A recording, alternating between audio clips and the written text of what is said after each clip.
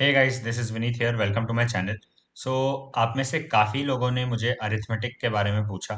तो अभी जो भी नए ज्वाइन किए हैं मेरे चैनल पे तो आप सब में से काफ़ी को अरिथमेटिक में क्या कैसे क्या करना चाहिए सब में ही डाउट है। तो इसलिए मैं ये वीडियो लेके आया हूँ। आई होप इस वीडियो के बाद आपके जो भी डाउट्स है वो क्लियर हो जाएँगे। और जो बाकी रहेंगे वो तो मैं डेफिनेटली आंसर कर दूँगा। आप कमेंट्स में पूछ लीजिएगा। सो so, देखिए इस वीडियो में क्या डिस्कस करेंगे हम? इंपॉर्टेंट टॉपिक्स क्या है? किस किसमें से क्वेश्चन पूछा जाता है? ऑर्डर क्या होना चाहिए प्रैक्टिस करने का? वो मैं सब बताऊँगा आपको। एक्सपेक्टेड नंबर ऑफ़ क्वेश्चन जो क्वेश्चन पूछे जाते हैं, मैंने सब देखे हैं। मैंने इतने एग्ज़ाम दिए, जैसे कि आपने देखा होगा। तो हर एक टॉपिक से कितने क्वेश्चन आते हैं एक्सपेक्टेड कितने हैं, मैं आपको बताऊँगा। और आपको फोकस क्यों करना चाहिए अरिथमेटिक में, वो बताऊँगा। और जो मोस्ट इंपॉर्टेंट टॉपिक है इंपॉर्टेंट टॉपिक तो देखो, सब में से कुछ ना कुछ आता है बट मोस्ट इंपॉर्टेंट क्या है जो आपको करना ही है वो बताऊँगा मैं। और सोर्सेस क्या होने चाहिए प्रैक्टिस के लिए? जिनको समझ में नहीं आ रहा है कहाँ से स्टार्ट करे कौन से टॉपिक से स्टार्ट करे ये सब इस वीडियो से आपका क्लियर हो जाएगा। सो so, देखिए अब मोस्ट इंपॉर्टेंट में मैंने पहले परसेंटेज दिया है और सेकंड रेशियो एंड प्रोपोर्शन को दिया है। तो आप बोलेंगे परसेंटेज और रेशियो प्रोपोर्शन कैसे मोस्ट इंपॉर्टेंट हुआ? तो इसमें से मैं आपको पहले बता देता हूँ यही ऑर्डर में आप स्टार्ट कीजिए अगर आपने स्टार्ट नहीं किया है तो और आप सोच रहे हैं कैसे स्टार्ट करूँ? और अगर आप अ, सोच रहे हैं कि कितना इसमें से आता है परसेंटेज और रेशियो से तो मैं आपको बता देता हूँ तीन से चार क्वेश्चन तो समझो अरिथमेटिक में ही आता है बट परसेंटेज और रेशियो अगर आपने अच्छे से कर लिया है तो आपका जो स्पीड मैथ्स का पोर्शन है स्पीड मैथ्स वो आपका अच्छे से हो जाएगा। क्या है उसमें? रेशियो ही यूज़ होता है परसेंटेज ही यूज़ होता है बाकी कैलकुलेशंस है। आपका डीआईज अच्छे से हो जाएगा जो प्री में पूछा जाता है। डीआईज में क्या पूछा जाता है? मोस्टली रेशियो परसेंटेज और रेशियो ही तो होता है। कौन लेस देन कितना है मोर देन कितना परसेंटेज है, या रेशियो पूछ लेते हैं। तो आप समझ रहे हो ये टॉपिक का वेटेज कैसा है? और क्यों ये टॉपिक इंपॉर्टेंट है? क्योंकि अगर ये दोनों आपने कर लिया है अच्छे से, आपको बहुत अच्छे से करना है, ये दोनों अगर आपने कर लिया है तो फिर बाकी जितने ये चैप्टर्स है एवरेजेस पार्टनरशिप एवरेजेस में भी आप यूज़ कर सकते हो पार्टनरशिप एवरेज में एक नॉर्मल फॉर्मूला या तो वो यूज़ करो। पार्टनरशिप में आप रेशियो यूज़ कर सकते हो एजेस में आप रेशियो यूज़ कर सकते हो मिक्सचर एलिगेशन में रेशियो से कर लो। प्रॉफिट लॉस एंड डिस्काउंट भी परसेंटेज और रेशियो से हो जाता है। यही लगता है, ये बेस है, ये आपको करना ही है। इसके बाद ही आगे जाना है, ये अच्छे से करना है। दो से चार क्वेश्चन तो आते ही हैं, साथ ही साथ ये हर चैप्टर में यूज़ होता है। ठीक है शॉर्ट जो शॉर्टकट्स है शॉर्ट ट्रिक्स है या शॉर्टकट्स है, वो परसेंटेज और रेशियो से ही होता है हर अरिथमेटिक के चैप्टर में। तो आपको ये अच्छे से करना है। अब प्रैक्टिस कैसे करना है, मैं आपको वो भी बताता हूँ। देखिए प्रैक्टिस के टाइम मैं आपको जैसे कोई प्लेलिस्ट दे रहा हूँ तो आप उस प्लेलिस्ट से ये चैप्टर पहले प्रैक्टिस कीजिए। ट्राई कीजिए पंद्रह से बीस क्वेश्चन हर चैप्टर का प्रैक्टिस करना। हर चैप्टर के लिए दो दिन लीजिए टू डेज़ चैप्टर प्रैक्टिस करने के बाद एक दो दिन आपका चैप्टर प्रैक्टिस हो गया तो आप फॉर्मूला आपको समझ में आ गया होगा कैसे यूज़ करना है। क्वेश्चंस देख के वीडियो देख के समझ में आ गए होंगे। आप एक टॉपिक वाइज टेस्ट लगा लो। ठीक है? इसमें क्या होगा? इसमें होगा कि सब नहीं बनेंगे, हो सकता है। नहीं बनते तो आपको लगेगा, अरे, क्या होता है? बहुत बच्चे ही हो जाते हैं कि नहीं बन रहे थे मेरे से। करने के बाद भी नहीं बन रहे तो नहीं बनेंगे, क्योंकि आपने अभी बहुत प्रैक्टिस नहीं किया है। आपको क्या लगता है? पंद्रह बीस क्वेश्चन करने से हो जाएगा। नहीं तो ये क्यों करना है? ये आपको बेसिक आपका क्लियर हो जाए, इसके लिए करना है, समझ जाए आप। बट आप ये देखोगे टॉपिक वाइज टेस्ट जब आप दोगे एवरी टॉपिक के लिए बोल रहा हूँ दो दिन लो तो अगर दस टॉपिक है तो बीस दिन लोगे आप, ठीक है? पंद्रह से बीस क्वेश्चन आप एक दिन में कर सकते हो तो आप एक दिन में भी कर सकते हो, ठीक है? मैंने सात आठ टॉपिक लिए थे और मैंने पंद्रह सोलह दिन में किए थे, ठीक है? और ये ऐसा नहीं था कि ये करने के बाद ही हो गया था, इससे पहले भी मैंने बहुत प्रैक्टिस किया था बट मेरे नंबर नहीं बढ़ रहे थे। ये करने के बाद मेरे नंबर अचानक से ड्रास्टिकली बढ़ने लगे। ठीक है? तो टॉपिक वाइज आप जब दोगे ये करने के बाद तो आप रियलाइज़ करोगे कि आपको अप्रोच समझ में आ रहा है। ठीक है? और आपके क्वेश्चंस बनने लगे। तो ये होगा, बाकी के आप सोल्यूशन देखो, समझो सोल्यूशन से। नहीं हो रहा है तो वापस आपको इधर ही जाना है। फिर आप प्रैक्टिस करो प्लेलिस्ट से या वीडियोस देख के, जो टीचर आपको पसंद है उनका। मैं तो प्लेलिस्ट आपको दे दूँगा दे दूँगा वीडियो के लिंक में। ठीक है? वीडियो के डिस्क्रिप्शन में। सो देखिए, ये हुआ, इसके बाद आप एवरेजेस करो। पार्टनरशिप करो एजेस करो। एक क्वेश्चन आएगा पार्टनरशिप का भी एक क्वेश्चन आएगा, इसका भी एक क्वेश्चन आएगा। एवरेजेस कभी कभी दो पूछ देते हैं बट जनरली एक ही क्वेश्चन आता है। मिक्सचर एलिगेशन से एक या दो क्वेश्चन आ सकता है। ठीक है एलिगेशन देखो अब एलिगेशन आप जब करेंगे तो ये एवरेजेस में भी यूज़ होता है। ठीक है, इससे बहुत इजीली सॉल्व हो जाता है। तो आप देख लीजिएगा टीचर्स डेफिनेटली आप जो मैं वीडियोस दूँगा, उसमें दिखा देंगे आपको। ठीक है प्रॉफिट लॉस एंड डिस्काउंट मैं नेक्स्ट स्लाइड पे आपको जो दिखाऊँगा वो बहुत इंपॉर्टेंट है अरिथमेटिक अरिथमेटिक के मोस्ट ऑफ़ द क्वेश्चन उससे आते हैं, ठीक है? बट उससे पहले मैं आपको ये बता दे रहा हूँ, इसमें आप दो क्वेश्चन मान के चल सकते हो, ठीक है? सिम सिंपल और कंपाउंड इंटरेस्ट से भी दो क्वेश्चन मान के चल सकते हो। कंपाउंड इंटरेस्ट में लोगों को प्रॉब्लम आता है बट प्रैक्टिस से ये भी आपको हो जाएगा। फॉर्मूला एक ही है, कुछ भी नहीं है। सिंपल का वही है P R T by hundred R percentage में होता है। ठीक है कंपाउंड इंटरेस्ट का भी कुछ और नहीं है amount equal to P plus I इसमें भी यही चलता है।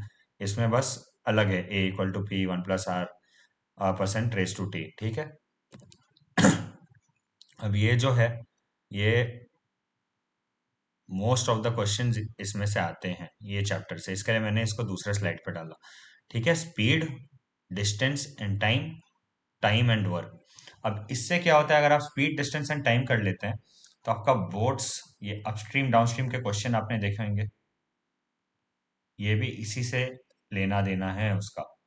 तो आप जब स्पीड डिस्टेंस एंड टाइम करोगे, जैसे मैंने ऑर्डर में बताया, आप वैसे ही कीजिए। आप ये कर सकते हैं कि आपका रेशियो और परसेंटेज अगर एकदम अच्छे से हो गया तो फ़र्स्ट सेकंड के बाद आप थर्ड ये वाला टॉपिक कीजिए फोर्थ ये वाला टॉपिक कर लीजिए।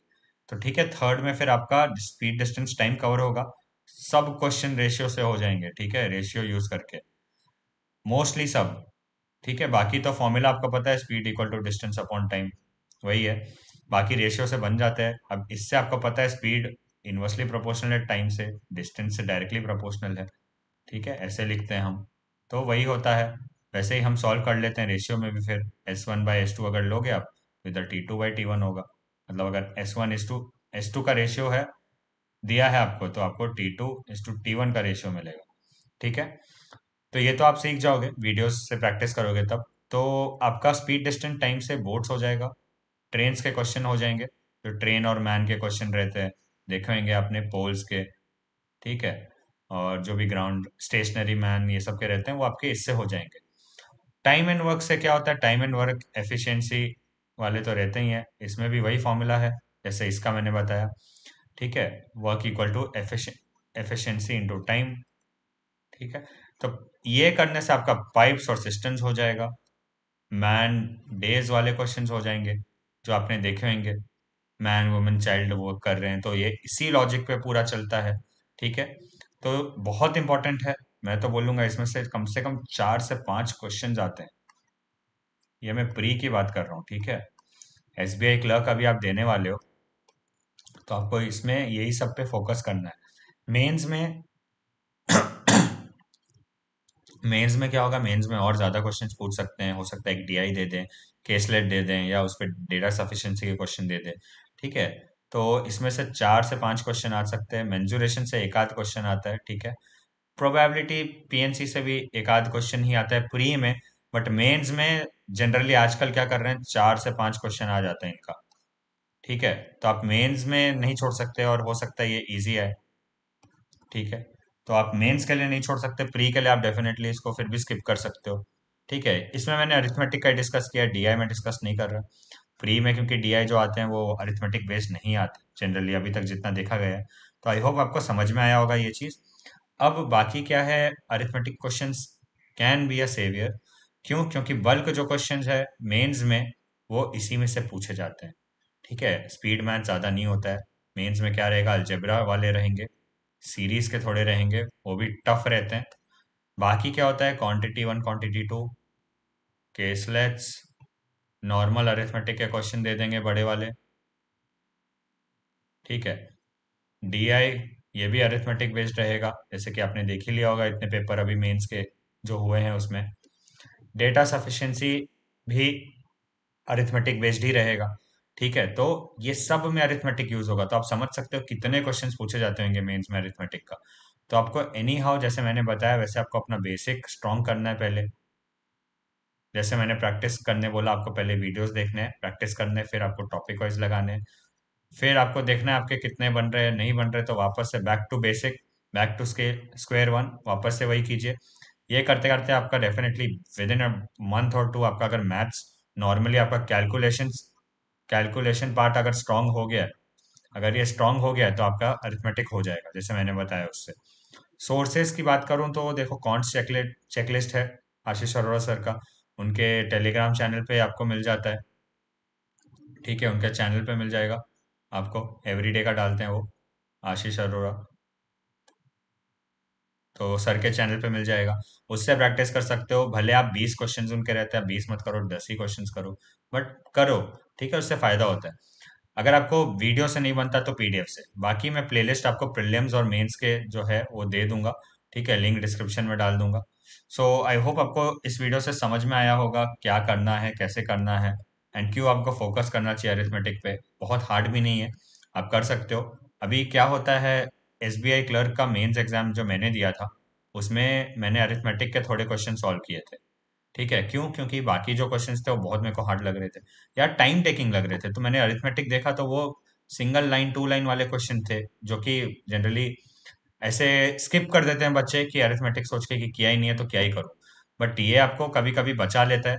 डेफिनेटली अगर आता है तो तो हमेशा ही बचाएगा बट नहीं भी अगर आपने, बाकी सब आपको नहीं आ रहा है ठीक से तो आपको अरिथमेटिक डेफिनेटली बचा लेगा। तो आप ठीक से कीजिए मैथ्स टफ होते जा रहा है so I hope this video will clear your doubts and अगर आप मेरे चैनल पे फ़र्स्ट टाइम आए so do not forget to subscribe and stay tune for more updates and strategies. Thank you and keep preparing all the best.